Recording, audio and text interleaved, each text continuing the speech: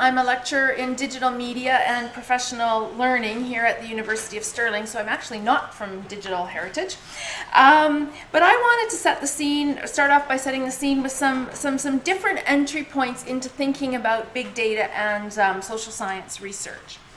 I'm going to start with the Sustainable Development Goals which seem to be galvanizing global action around data. They're a strong feature in recent policy discourse in which the hopes are evident for a positive impact of better data practices and infrastructures on social cohesion and economic prosperity. But however promising the data turn is, current data practices often work on women, making them and what they do visible and invisible in ways that include and exclude. So it's important to ensure that new data practices globally and locally do not further entrench inequities because as starting to come out, I think in, in this conference, um, data practices are not neutral. And David Beer writes, the way that data is spoken of reveals something of its materiality and agendas, and therefore important to see how data are invented and put to work. So in that respect, I think it's quite important to work with women in a more sort of co-participative way to figure out how they could leverage personal public open data, how they could address data injustices, how they could ensure representation in data, and here I, I specifically mean big and small streams of data of value, and engage in that larger ecosystem of data practices to foster empowerment. David Beer also writes that uh, the opportunities are there for those who can locate value in the volume and source of data.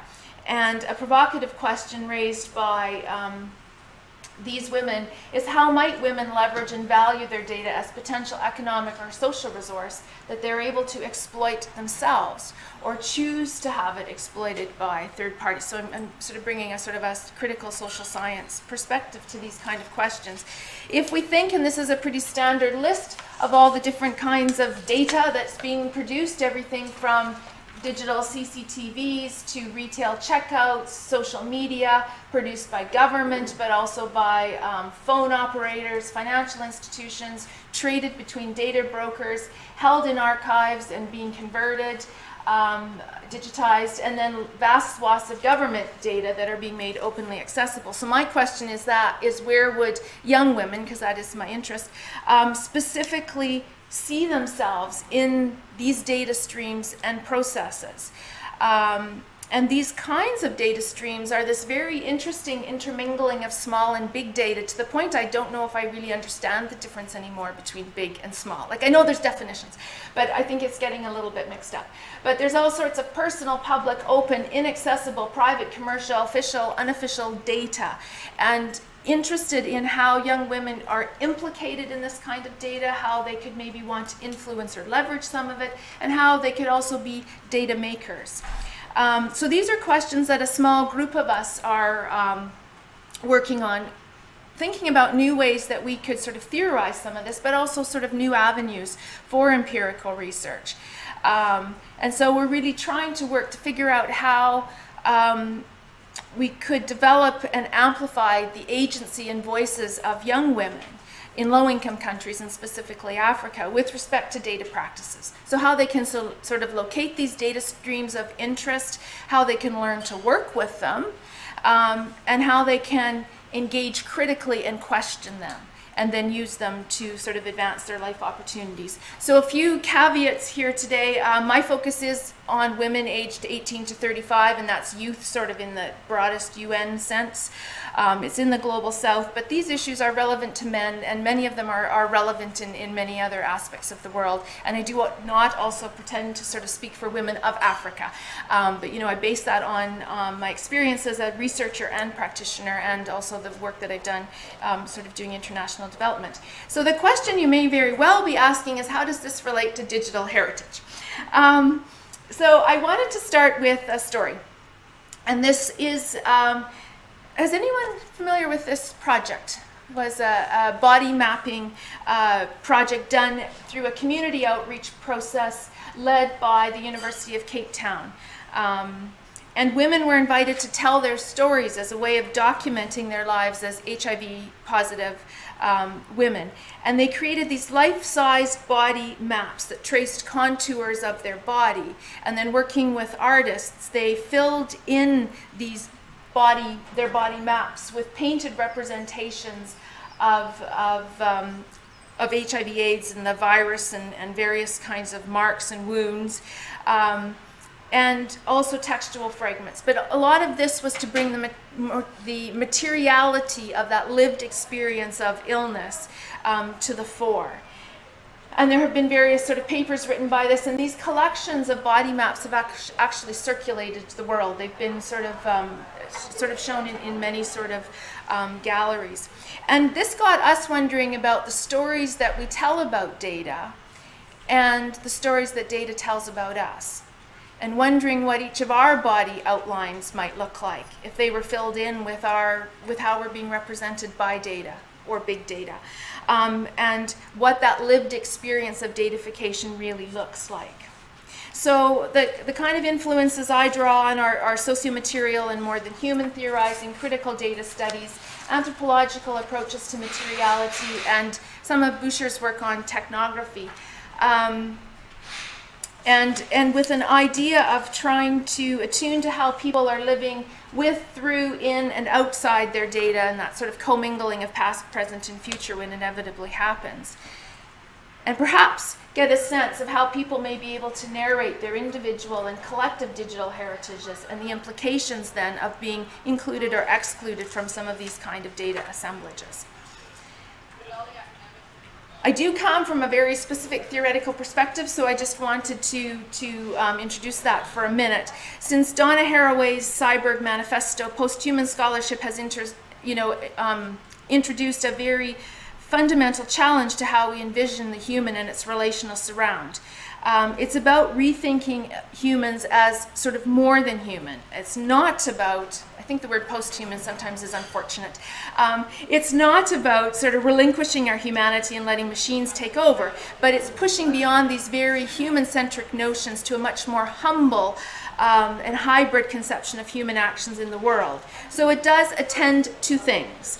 Um, and it offers a way to reckon with our intimate relationship with things, to reconsider agency, and question the presumed neutrality of things. And, and for things here today, we can be thinking about data, big data, data processes.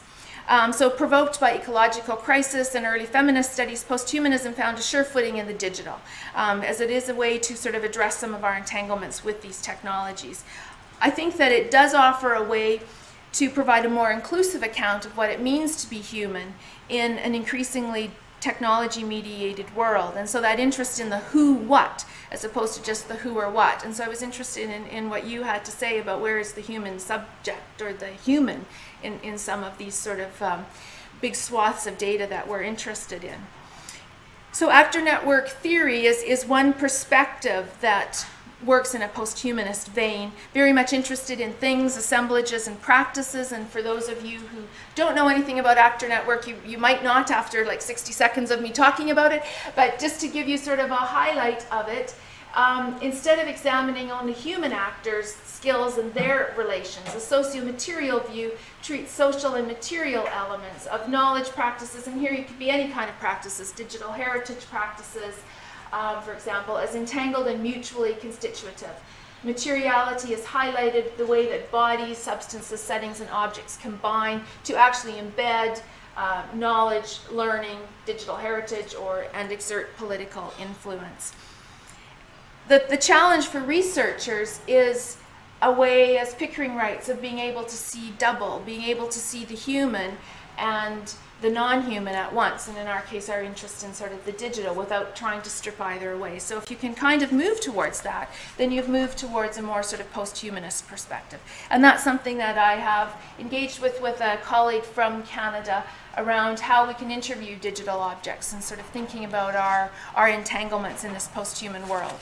So with that theoretical framing in mind, I wanted to then consider how the notion of data bodies could be used as a heuristic for activist-oriented research and to challenge conceptually and particularly ontological thinking about big data and digital heritage. So a socio-material understanding of data bodies would view this as an assemblage, a mix of global and local actors and a myriad of practices. And what happens here is that people and data are caught up in this very co-constitutive relationship of becoming together. And that also builds a lot on Tim Ingold's work, who is an anthropologist. Um, and as Sarah Pink and colleagues write, everyday life then emerges from this continually shifting digital material configurations. So the idea of a data body is not new, but it is evolving, and I do think it's something that we could be working on. So recent work suggests that it's possible to not only shape and learn with your data body, but also to work with these things to do and be in this world. So in this sense, data bodies are not separate from human bodies. Each is enacting the other. Um, so earlier work seemed to view the data body. Some of you might have um, recognized, and these things all mean slightly different things, but similar. That you know your data doppelganger, your data shadow, your data double. There's ads on TV where one guy's talking to his data double. You know that kind of thing. Um, but the problem with some of those is they represent this data body as fixed, as you know, the property of large commercial organizations, and therefore very much a separate construction beyond the, the reach of the individual. And while I think that that still does apply, data bodies are a form of digital materiality, which, as Pink suggests, are very much an emergent process. Yes, they are very partial and and and um, representations and constructions, but as Deborah Lupton has written, um, these kinds of um, data assemblages invite different thinkings about the relationship, and I'm not sure why the bottom of my slide is cutting off, but the relationship between data and human bodies.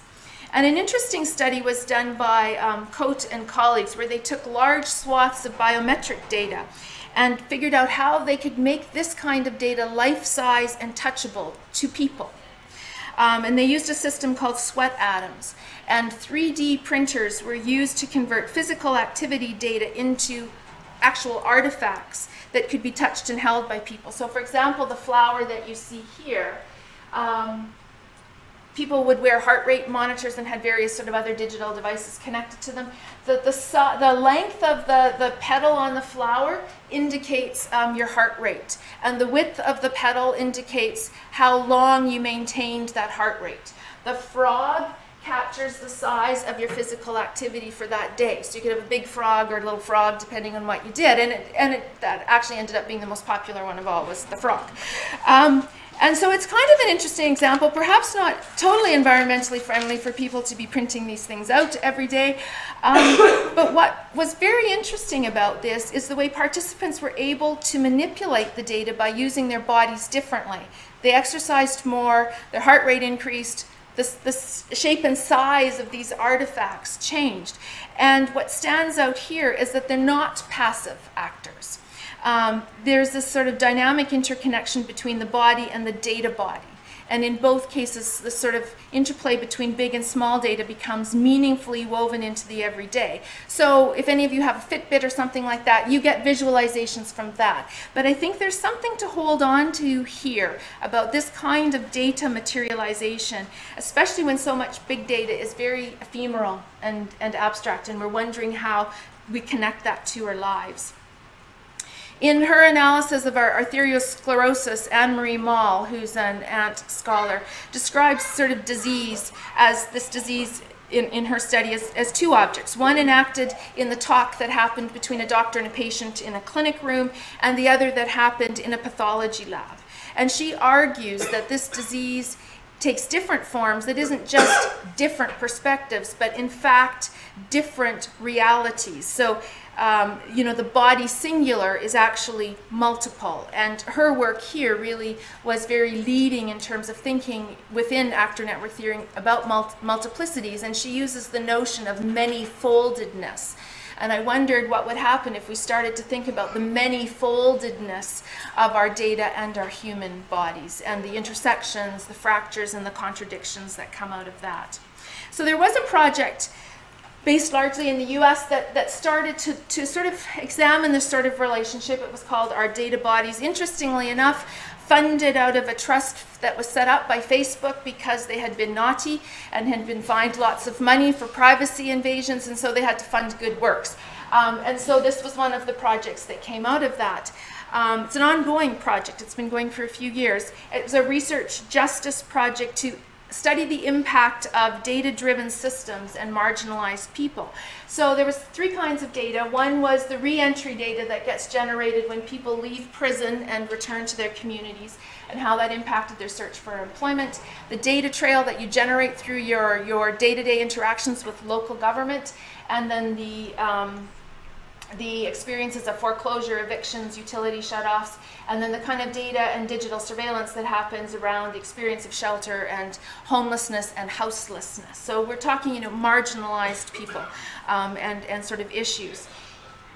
And one of the things that came out from this was how the participants felt very boxed in or boxed out by the limited opportunities to self-define in, in data-based life.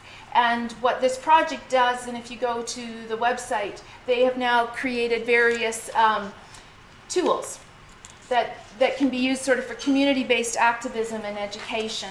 And you know, this is starting to move us into the realm of considering how this notion of data bodies invites us to consider how data is part of the making and shaping of bodies, but how the body itself is a site of data politics.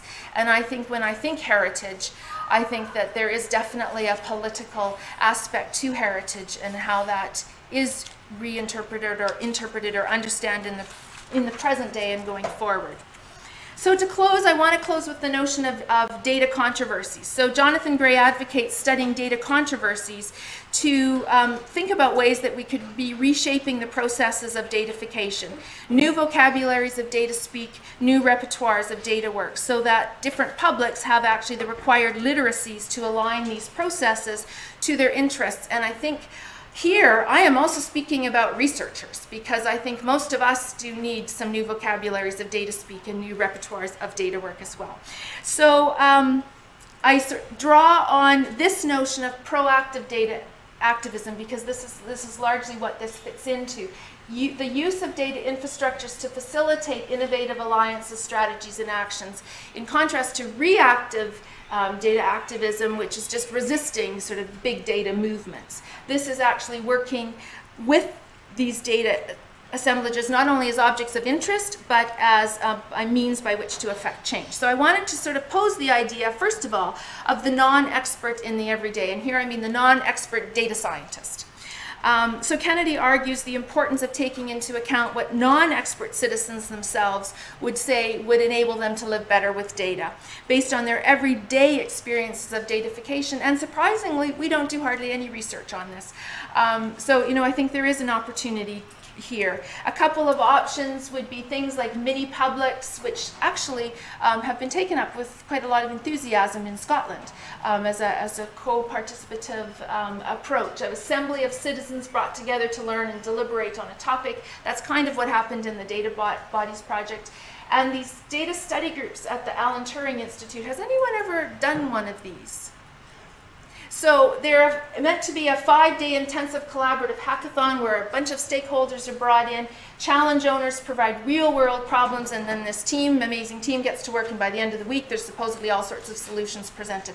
And I think that, that there's some things about this that I, I really quite like as a model. Um, but what we have here is just the idea of the learning piece that becomes definitely part of this. The second data controversy is that paradoxically, broken data itself may create opportunities. If we think about some of the data injustices, and I return to my sort of original theme, women differently present and absent in data streams, Better data infrastructures do not fix problems with past and current data in terms of who or what is represented and how. And I heard this time and time again from my African colleagues. Yes, we can have better algorithms, albeit imported from the north, um, but if women aren't even represented in the data that we're applying those better algorithms to, we really haven't advanced things. Um, unrecognized biases in algorithms and algorithmic profiling that sometimes can reproduce inequities, and how particular data and people come to be attached to each other, meaningfully or not meaningfully. And Sarah Pink has argued that when data is incomplete, inconsistent, and broken, that actually opens up a space for discussion and that it's important sometimes to maintain these differences rather than resolve them. And in this way, you have an opportunity to follow what actually happens after the breakage and see the kind of repair work that comes on. Um, and so I wanted to end just with this thought, because this is a, a big theme in, in sort of data justice and data injustice, is who owns one's data. And I wonder what are the implications if data is not something a person owns but is? Um, Floridi argues that you are your information, and in this sense, you cannot give it away. And I think that is really further challenging a lot of our notions about the data double as something that's very static and separate. So he argues that my and my information is not the same as my car, but really it's the same as my as in my body or my feelings, a, a sense of constitutive belonging, not of external ownership. Um, it's part of me and it's not sort of a legal possession. So an ontological pause, something you can think about at lunch or perhaps with a drink, but um, I do think that these are the kinds of questions that um, as we're talking about big data in whatever field that we're interested in talking about, start to highlight different questions. And I think part of this is being respectful of things and of data in particular tell their histories, what they do, what happens to them when treated in particular ways in the very practice of working with them. And I'll end there.